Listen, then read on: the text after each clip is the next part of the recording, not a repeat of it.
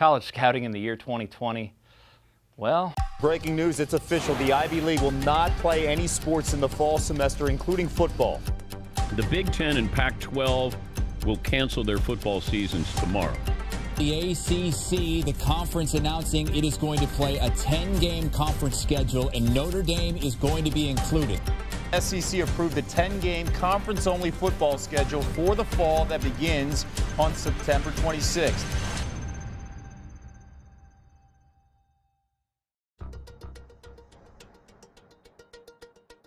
Everything in 2020 is, is going to be something different or something with an asterisk beside it. Uh, for our process, the root of it's the same. Um, identify players that can help our football team. Our evaluation process in a normal year always includes the prior year of tape. So we've already looked at all these players off their junior tape, or if it's a junior, in, in those cases, their sophomore tape. At this point, uh, most of the Division One schools have decided to come back and play this year, so it looks like we will get some sort of 2020 fall tape that we will be able to evaluate. It's mostly the lower levels, the one double A's and below, that have decided to go forward with some type of spring season. So they're just going to have a smaller body of work to go off of on the 2020 season. Uh, but unfortunately, that's, that's what it is. Well, I think it's always uncertainty uh, that, that, presents challenges. We are uh, creatures of habit in this business, um, you know, not just in scouting, but coaching and playing as well. And we've all had to change the way we, uh, we do our jobs.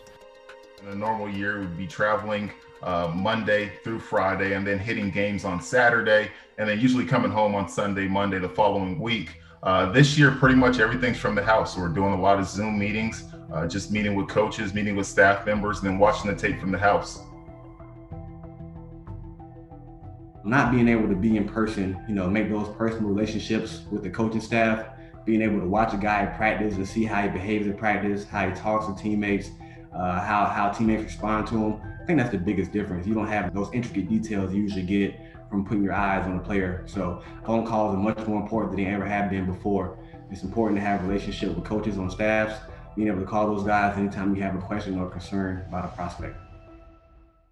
It's always been sitting down with a coach in his office. You're at University of Oklahoma and you watch film for four hours and, and then you want to go pop into you know the receivers coach, you want to sit down and, and chat with him about a couple of the guys, and you're able to do that. And, and maybe you've done it for six or seven years straight, and he knows you, and he's a friend of yours. And um, all of that stuff's uh, out the window this year.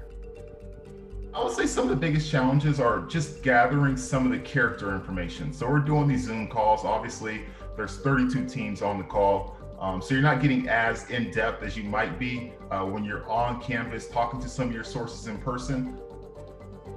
Also, just not being able to see these players in person. We can hit games here and there, um, but it's not one of those things where we're seeing every single school. Everything is uncertain right now. We think there's going to be a Senior Bowl, but we don't know. Um, we think there's going to be a combine, but we don't know. We think the draft is going to take place as scheduled, but we don't know. So that's the whole rub this year is that we have to be constantly ready to change on the fly.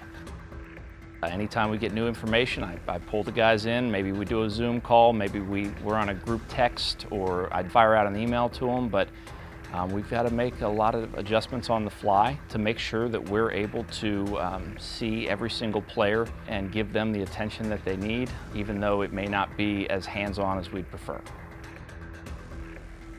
It's our job to, to get it right no matter what the situation is, and we're going to ultimately do whatever necessary to complete our evaluation process to the best of our abilities to help the Tennessee Titans on a football field.